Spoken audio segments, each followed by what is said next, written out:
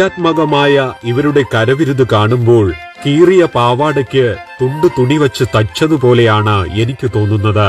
ഏറ്റവും ഒടുവിലത്തെ ഈ പ്രവൃത്തി ആവശ്യമുണ്ടെന്ന് എനിക്ക് തോന്നുന്നില്ല.